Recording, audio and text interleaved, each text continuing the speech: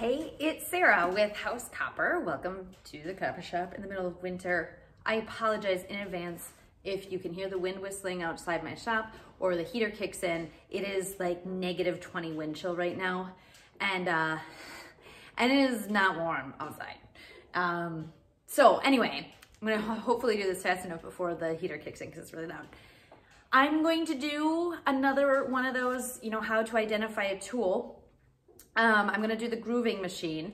And I wanted to preface this, I've had a couple of people mention like, oh, I'm showing um, how these machines work um, or what to look for, but I'm not showing like how they're used in any application. And I will uh, let remind you all know, and I know they get buried, but I did a whole series of how to use every single one of these machines maybe a year or two ago. And I will try to find that and then post that in the links below. So if you like are like, oh, there's the grooving machine, how do I use it? It'll be easy to find in the description below um, from a much earlier video of how it's used and with it actually being used to make whatever it's supposed to make. So I just don't want to replicate. And I know a lot of people are, are asking, the whole point of this series is, how do I know which tool it is? Because it's hard to always know, like, is it a beading machine, or, well, beadings are obvious, but is it burring? Is it wiring? Is it turning? How do I know what it is? And what to look for if I'm going to be buying my own tools. So that's what this is for. So without further ado, we're gonna do a grooving machine today. I used to call this the smashing machine because I couldn't remember the names of the tools. And uh, to me, it just smashed down the seams. The, uh, and the, uh, the, the grooving machine also is for um, uh, putting down crimp seams. So that's, that's the kind of seam where you have, you know, one, one seam up um, at 90, another seam, you know, at 90, you put them together, you do it like this, and then you essentially used to um, use um, you used to use um, grooving things like this. So if you can see um, this, they come in multiple different widths. You know, this one's a much skinnier one. Um, and you can kind of see there too, the difference, like, you know, one's thinner ones. So um, these are, there's a whole set of these that, that come um, in various widths for different widths of crimp seams. Um, and when you see the, the grooving machine, you're gonna see, you know, that has essentially just one width on the wheel. So um, that's just because it's kind of a more standard, standardized width. At some point they standardized the measurements, I guess.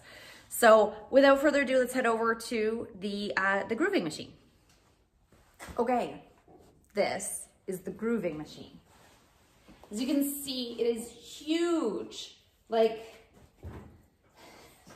this is my arm. It's almost as long as my two arms. I mean, it is, it's huge. So you need a ton of room for this because this back here, after you pull it forward, has to be all the way back, especially if you do long pieces. So here's where your groove is gonna be. And here is the most important part of what you're gonna be looking for.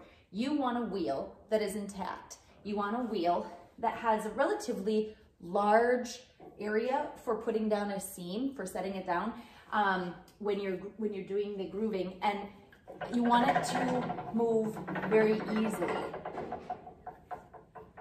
Now, some of these will be smaller.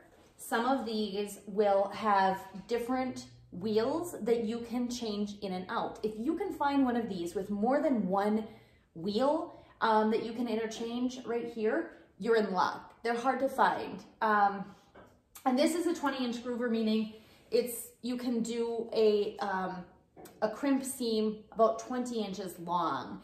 Um, you, you can go shorter obviously, but your max length is 20 inches. Then you're also gonna want to look for one with an intact handle. Mine came without a handle.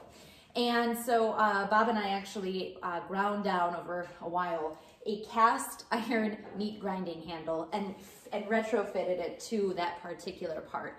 Um, so if you find them with, you know, with missing handles and things, you're fine. You can always like rig something up. But really you're looking for this whole contraption here to be in working order. Um, you don't want to go um, super small If you can go um, as big as, uh, you know, a good long, you know, anywhere, you know, up to 20 inches, this is a nice standard size grooving machine. Uh, anything smaller than that, you're gonna be limited to how tall of a seam or long of a seam you can run. Mostly you're putting, you know, items on here and you're running the seams this way. Um, I wanna show you also a close-up over here. So I wanna show you here. So see this whole area where the seam goes? If you're working in tin and copper, you are, you want this to be as smooth as possible. If it's pitted, it's going to actually dent your uh, your plate, your tin plate or your copper your copper plate.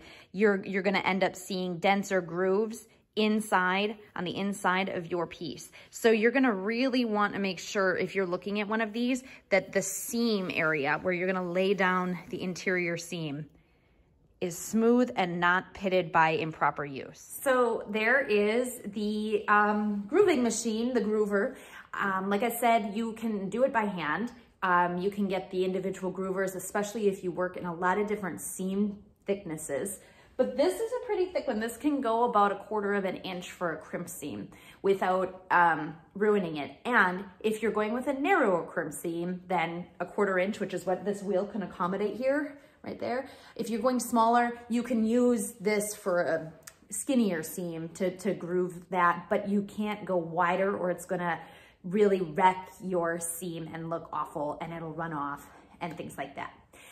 So I hope this helps with your searches for the tools of the trade. Um, like I said, I'll post the video down below of how to use this and um, hopefully that'll clear up any questions. But as always, let me know um, any thoughts, questions, comments, um, your experiences with grooving machines, and I will, uh, I'll answer them as soon as I can. So in the, in the meantime, if you're up north, stay warm if you're down south, stay cool. And uh, I will see you next time. Thank you for watching.